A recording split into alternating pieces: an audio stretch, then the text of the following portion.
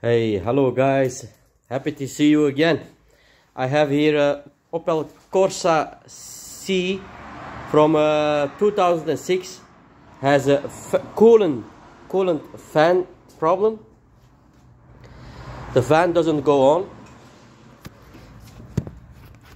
We checked the thermostat. this is uh, working. It, uh, we put it in hot water. It's uh, responding. We have the temperature sensor. Also, checked and how? If you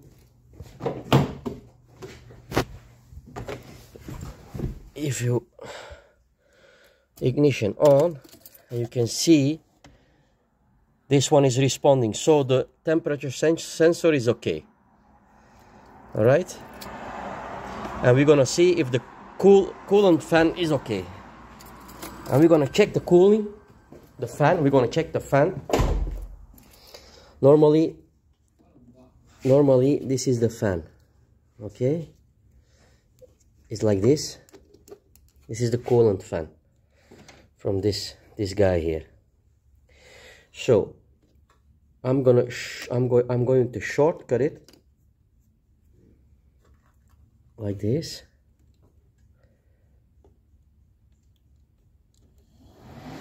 And you can hear you can hear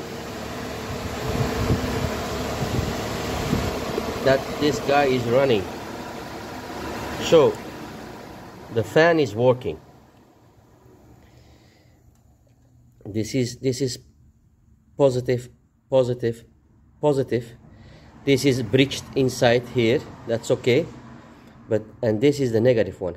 And I, op I opened this fuse box and this is the cable going around under underneath and it's connected to here if I measure here there should be negative but but in this case it doesn't. So I opened this socket and I saw inside it was corroded. And now I fix it now it's the problem is done. So you, you can take this out and you you can uh, clean it scrap it a little bit and uh, it will work again. This goes underneath straight to the ECU behind here. It's too dark I cannot see, let's see it's, it's here. This is the pro it was the problem.